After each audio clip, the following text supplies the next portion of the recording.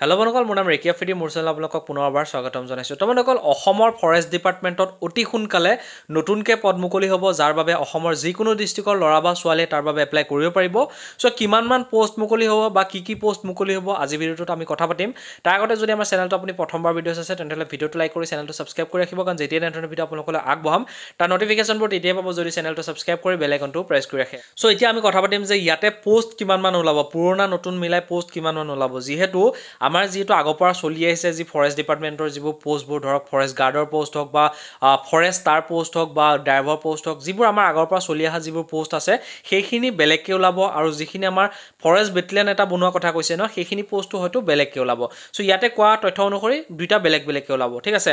চ' আমি এতিয়া প্ৰথমে কৈছোঁ যে যিবোৰ পষ্ট আগৰ পৰা চলি আহিছে যিবোৰ ফৰেষ্ট গাৰ্ড হওক বা ফৰেষ্টাৰ পষ্ট ইয়াত কিমান কিমান পষ্ট ওলাব বা কি কি পষ্ট ওলাব সেইখিনি আমি প্ৰথমে কথা পাতিছোঁ। তাৰপিছত আমি কথা পাতিম যে যিটো নতুনকৈ ফৰেষ্ট বেটেলিয়ান বনোৱা কথা কৈছে তাত কিমানমান পষ্ট ওলাব সেইখিনি আমি পিছত পাতিম ঠিক আছে? প্ৰথমে কৈছোঁ যে নতুনকৈ যি পষ্ট ওলাব মানে আগৰ পৰা চলি অহা যিবোৰ পষ্ট আছে তাৰ ভিতৰত আছে বনৰক্ষী মানে যিটো আমাৰ ফৰেষ্ট গাৰ্ডৰ পষ্ট হয় ফৰেষ্ট গাৰ্ডত প্ৰায় বাৰশ ছাব্বিছটা পষ্ট মুকলি হ'ব ফৰেষ্ট গাৰ্ডত তাৰপিছত যিটো আমাৰ ফৰেষ্টাৰ হয় যিটো আমাৰ বনকৰ্মী গ্ৰেড ওৱান মানে ফৰেষ্টাৰ গ্ৰেড ওৱানৰ যিটো আমাৰ পষ্ট হয় তাত প্ৰায় দুশ চৌষষ্ঠিটামান নতুন পদ মুকলি হ'ব। ফৰেষ্টাৰ পষ্ট মুকলি হ'ব দুশ চৌষষ্ঠিটা তাৰপিছতে আমাৰ এটা নতুন ইয়াতে নাম এটা সংলগ্ন কৰা হৈছে যিটো আমাৰ অসম বন সুৰক্ষা কনিষ্টবল কামাণ্ড বুলি আছে য'ত প্ৰায় দুশ ঊনাশীটা মানে টু হাণ্ড্ৰেড ছেভেণ্টি নাইন হয়তো পষ্ট মুকলি হ'ব যিটো কামাণ্ড টাইপত লিখা হৈছে ইয়াতে। তাৰপিছত এতিয়া চালক মানে যিটো ড্ৰাইভাৰ পষ্ট হয়তো ড্ৰাইভাৰ পষ্ট প্ৰায় এশ বিৰাল্লিছটামান হয়তো ড্ৰাইভাৰ পষ্ট মুকলি হ'ব। তাৰপিছত ৰান্ধনি পষ্টটো মুকলি হ'ব যিটো আমাৰ গ্ৰেড ফ'ৰ টাইপ মানে আমাৰ ৰান্ধনি পষ্ট হয়তো কনষ্টেবল লেভেলতে হ'ব চাগে। ইয়াতে প্ৰায় তেৰটামান ৰান্ধনি পষ্টটো মুকলি হ'ব। ইয়াতে কোৱা তথ্য অনুসৰি প্ৰায় ষোল্লশ ছিক্সটিন হাণ্ড্ৰেড ছিক্সটি ছেভেন ষোল্লশ সাতষষ্ঠিটামান পষ্ট মুকলি হ'ব যিটো আমাৰ আগৰ পৰা চলি অহা পষ্টখিনি হয়তো এনেকুৱা ধৰণৰ পষ্ট প্ৰায় ষোল্লশ সাতষষ্ঠিটামান পষ্ট মুকলি হ'ব। আৰু এতিয়া আমি কথা পাতিছোঁ যে যিটো আমাৰ নতুনকৈ এটা বেটেলিয়ান বনোৱা কথা কৈছিলে সেই বেটেলিয়ানটোৰ নাম হৈছে থাৰ্ড আছাম ফৰেষ্ট বেটেলিয়ান ঠিক আছে থাৰ্ড আছাম ফৰেষ্ট বেটেলিয়ান আৰু ইয়াৰ যিটো মুখ্য কাৰ্যালয়টো ক'ত আছে? লখিমপুৰত ৰখা হৈছে যিটো মুখ্য কাৰ্যালয়। থাৰ্ড আছাম ফৰেষ্ট বেটেলিয়ানৰ মুখ্য কাৰ্যালয়টো লখিমপুৰত ৰখা হৈছে। আৰু ইয়াতে টোটেল পষ্ট মুকলি কৰি দিব প্ৰায় এঘাৰশ পোন্ধৰটা ফৰেষ্ট থাৰ্ড আছাম ফৰেষ্ট বেটেলিয়ানত পষ্ট মুকলি কৰি দিব।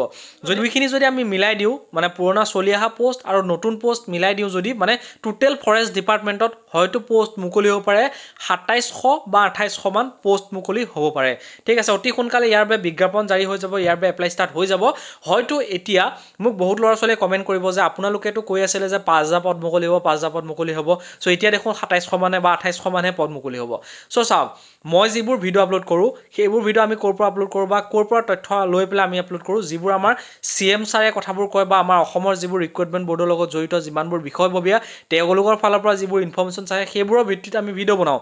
আৰু যিহেতু আজিৰ পৰা কিছুদিনৰ আগতে আপোনালোকে নিশ্চয় জানে চি এম ছাৰে ভাষণ য'তে দিয়ে ভাষণতে তেওঁ প্ৰেছৰ আগত কয় যে আমি অতি সোনকালে ফৰেষ্ট ডিপাৰ্টমেণ্টত পাঁচ হাজাৰমান পদ মুকলি কৰিম আৰু এ পি ডি চি এলত পাঁচ হাজাৰমান পদ মুকলি কৰিম। দুইটা মিলাই প্ৰায় অতি সোনকালে আমি দহ হাজাৰমান পদ মুকলি কৰি দিম বুলি চি এম ছাৰে য'তে ত'তে ভাষণত এইখিনি কথা কৈ আছিলে। কিন্তু বৰ্তমান যোৱাকালি চি এম ছাৰে প্ৰেছৰ আগত আকৌ কৈছে যে আমি পষ্ট ক'ত কিমান মুকলি কৰিম? যিখিনি মই এতিয়া বৰ্তমান আপোনালোকক ক'লোঁ এইখিনি কথা যোৱাকালি প্ৰেছ মিটৰ আগত ক'লে। চ' মই আপোনালোকক সেইখিনি তথ্য দিব পাৰোঁ যিখিনি ওপৰৰ পৰা তেওঁলোকে ক'ব সেইখিনিহে তথ্য দিব পাৰোঁ। ইয়াত মোৰ মোৰ নিজাববীয়াকৈ মোৰ একো নাই যিহেতু আমি তেওঁলোকৰ পৰা পৰা যিখিনি ইনফৰ্মেশ্যনছ পাওঁ আমি সেইখিনি আপোনালোকক কৈছোঁ। হয়তো মোক কোনোবাই গালি দিব পাৰে যে তই কৈছিলে দেখোন পাঁচ হাজাৰ ওলাব। চ' চাওক আমাৰ চি এম ছাৰে মুখলে কাম ঠিক নাই আছোঁ আমি মোৰ মইনো কি ক'ম? তেওঁলোকৰ ফালৰ পৰা যি ক'ব আমি সেইটো আপোনালোকক কৈ দিম।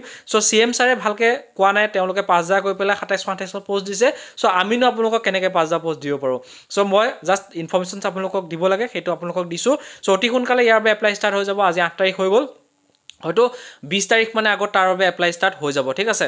চ' যদি আপোনালোকে ইনফৰ্মেশ্যনটো ভাল লাগিল ভিডিঅ'টো লাইক কৰি চেনেলটো ছাবস্ক্ৰাইব কৰিব ভিডিঅ' চাবলৈ ধন্যবাদ। জয় হিন্দ।